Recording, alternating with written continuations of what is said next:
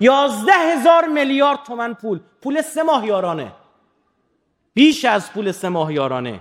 یازده هزار میلیارد تومن پول رو ریختن دادن به وارداتیا گوشت وارد کنن. قیمت گوشت رو نیم درصد آورد پایین. پول سه ماه. برای اینکه بفهمید چی بوده برای یه مثال خوب می‌زنم. یازده هزار میلیارد تومن یعنی یک چهارم کل پولی که خرج مسکن مهر شد. مسکن مهر چلو خورده هزار میلیارد تومن بود. چند میلیون خونه ساخته شد؟ دو میلیون و 600 700 هزار تا میگن تا سه میلیون. یعنی پول 800 هزار تا خونه. که تو هر خونه تو بگی سه نفر آدم رفته باشن یعنی چقدر آدم سرپناه پیدا کردن. با این قیمت جای کسی که می‌تونه خونه بخره. میگی مسکن مر مزخرفه. بسم الله بیا خوبشو بساز. من ما بعدمون میاد.